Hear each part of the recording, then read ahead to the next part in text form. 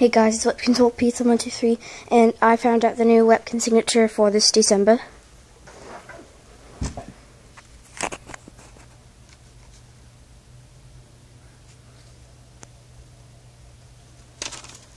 It's Webkinz signature Bulldog. And you can look it up on eBay. I don't know if you can look it up on Amazon, but um, it's really cute, and I really want to buy it. So just spread the word that the new signature's out, even before December.